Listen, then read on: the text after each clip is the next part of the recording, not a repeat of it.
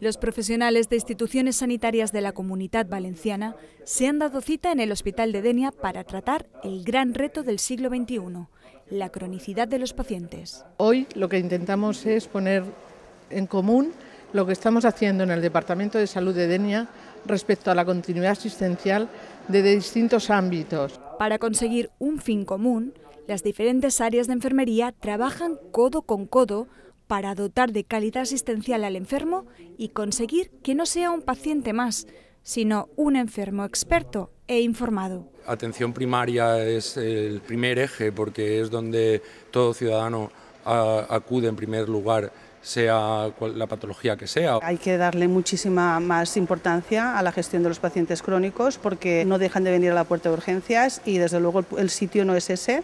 Hay que intentar que el paciente se quede en el domicilio atendido por atención primaria y si precisa más soporte pues por unidades de hospitalización a domicilio. La formación para todos los profesionales es clave.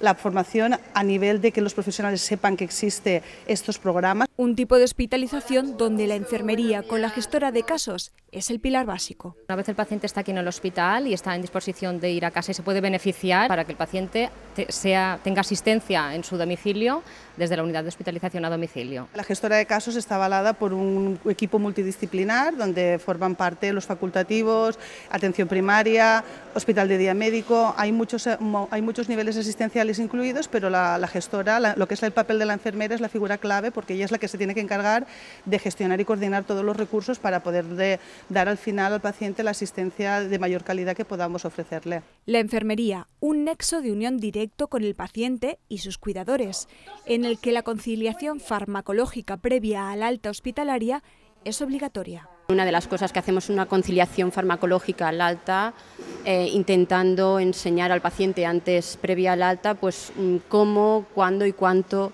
medicación mm, deben de tomar pero para un correcto funcionamiento es necesario homogeneizar la cartera de servicios no solo en la comunidad valenciana, sino también a nivel estatal. Es muy interesante que desde el Ministerio de Sanidad, desde las distintas comunidades autónomas se diseñen estrategias comunes. Están trabajando en ello.